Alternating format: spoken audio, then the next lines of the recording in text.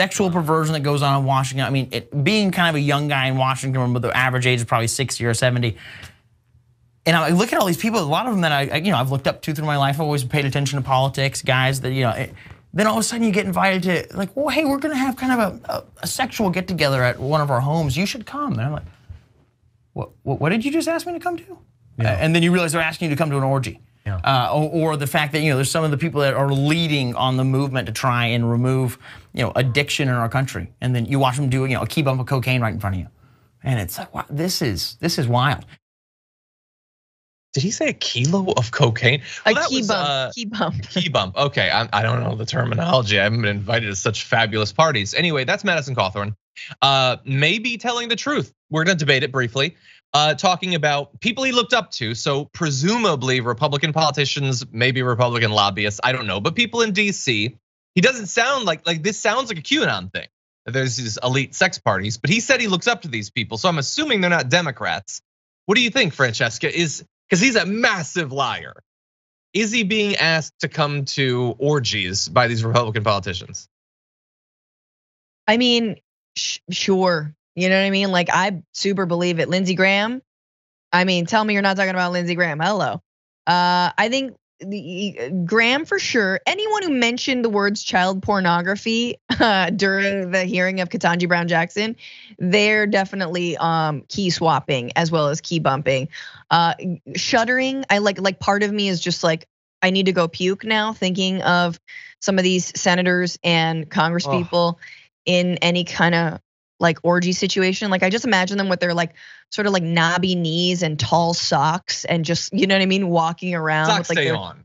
Full yeah, floor. socks are always on. It's just it's just a, a Rudy Giuliani consideration. Look, there's a lot of weirdos in in in DC, and there's and there's a lot of money. And every time there's money and power, you're gonna have coke and orgies. It's probably gonna happen. That's true. Thus, me not experiencing either.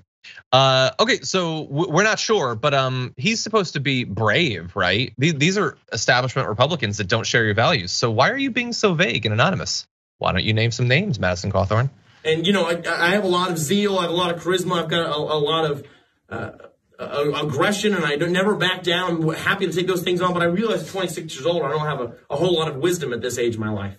Uh, so I was very happy to get to team up with Speaker Newt Gingrich and have him get to help so then, like, why are you there? Like, if you you attribute to yourself, I think, in a weird way. Okay, you have zeal, I guess. You're trying to indicate that you're a religious wacko and you're aggressive. Sure, you love to threaten political violence and everything.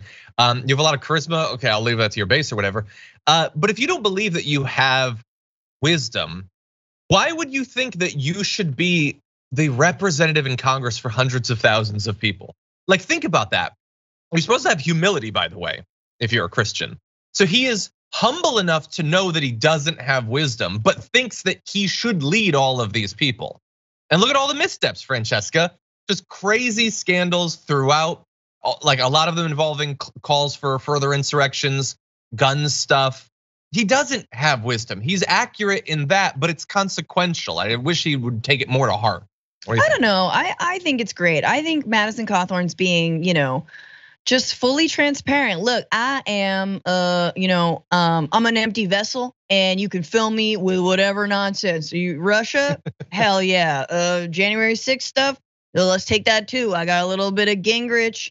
You just fill me up and I will I will literally just repeat anything you tell me to repeat. I'm a parrot. Yeah. Like I like that. Like Basically. you know, someone's being a little honest about it.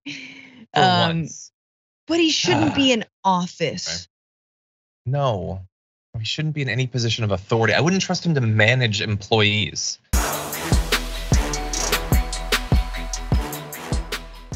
For more political news breakdowns, interviews, stories of activism, and me trying my hardest to care about the occasional big celebrity news story, subscribe to our YouTube channel at youtube.com slash the damage report. And you can ring the bell wherever it is so you don't miss anything.